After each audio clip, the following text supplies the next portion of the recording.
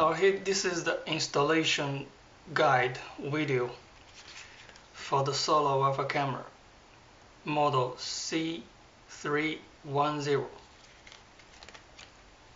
Okay, first go to the sorry,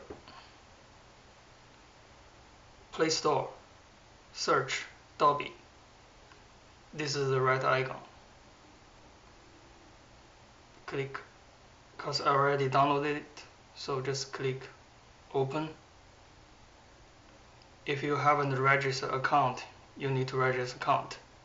After you register account you will go to the main page. So this is the home page. And here you click add device. Before you add a device you need to open this camera. There's a cap here just peel it and then this is the switch for the power.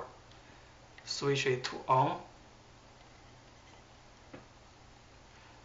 This light will start to blink. If it blinks in red you need to press the Wi-Fi reset button. But if it blinks in blue that means the Wi-Fi is ready for connection so in this case, I'm going to press the Wi-Fi for 5 seconds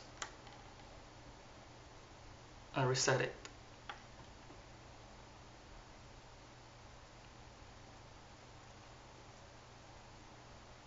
Okay, now the blue light is blinking. Let's go to the app. From the home page, click Add Device camera? Camera. There is instructions so please make sure that the Wi-Fi indicator light is flashing blue. Now it's flashing blue. So you press yes.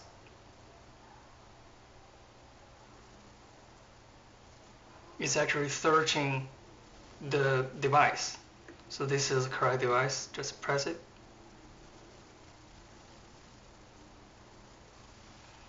and you can rename it. And also here this is the default name. So I just leave it a default name. So you choose your home network. And then input the password. Then next.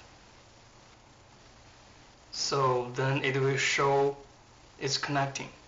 So this may take a while. It depends on the speed of the network and also the speed of, of it connecting to the server so please just be patient.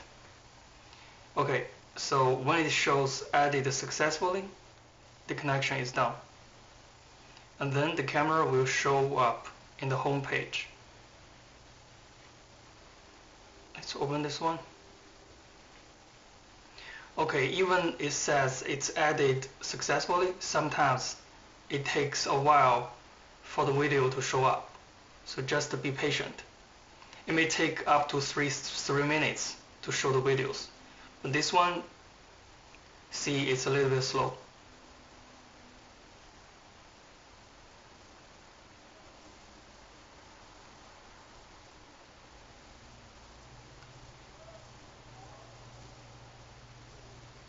It's just loading. So you may try this, the first time you use it, you may try this several times and then the video will um, streaming fluently just like this. Okay so here's the video.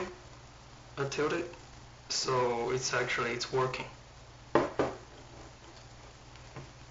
So this is the connection